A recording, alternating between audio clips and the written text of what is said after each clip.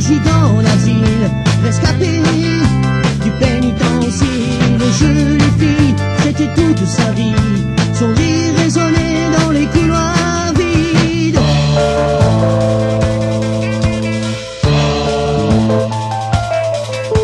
Ils voulaient tous les arracher des griffes d'une infirmière avide. Il l'insultait, la provoquait son rire la poursuivait.